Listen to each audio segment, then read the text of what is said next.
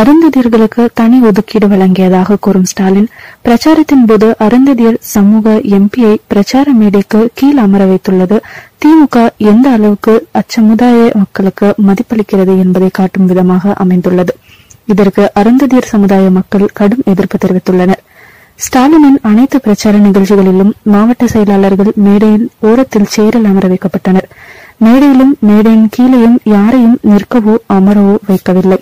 ஈரோடு மாவட்டம் தீயம்பாளையத்தில் நடைபெற்ற ஸ்டாலின் பிரச்சார நிகழ்ச்சியில் அருந்ததியர் சமுதாயத்தை சேர்ந்த எம்பி அந்திய செல்வராஜ் மேடையின் கீழே நிற்க வைக்கப்பட்டார்.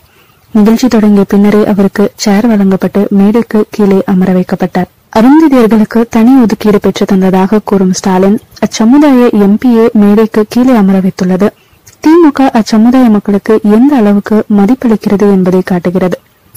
அருந்ததிய சமுதாய மக்களை இழிவாக நடத்தும் ஸ்டாலின் மேடையில் பேசும்போது பொல்லானுக்கு சிலை மணிமண்டபம் அமைக்கப்படும் என்று முதலமைச்சர் கூறியதை விமர்சனம் செய்தது நகைப்புக்கு உரியதாக அமைந்தது. அருந்ததியர்களுக்கு தனி ஒதுக்கீடு கொடுத்ததாக கூறிய ஸ்டாலின் எம்பி செல்வராஜுக்கு மேடையில் இடம் கொடுத்திருக்கலாம். அதை விடுத்து கீழே அமர வைத்து அசிங்கப்படுத்தியிருக்க வேண்டாம் என்று கூட்டத்தில் இருந்த திமுகவினரே ஆதங்கப்பட்டனர் இடஒதுக்கீடு அளித்தது ஒரு புறம் இருந்தாலும் தங்களின் மதிப்பை குறைக்கும் வகையில் நடத்தப்படுவதை ஏற்றுக்கொள்ள முடியாது என்றும் திமுகவினரின் இரட்டை வேடம் அழிந்ததே என்று அருந்ததியர் சமுதாய மக்கள் தெரிவித்தனர். அருந்ததியர் சமுதாயத்தை சேர்ந்த நாடாளுமன்ற உறுப்பினருக்கே இந்த நிலை என்றால் தங்கள் சமுதாயத்தை சேர்ந்த சாதாரண மக்கள் திமுக ஆட்சிக்கு வந்தால் எப்படி நடத்தப்படுவார்கள் என்று அருந்ததியர் சமுதாய மக்கள் அஞ்சுகின்றனர்.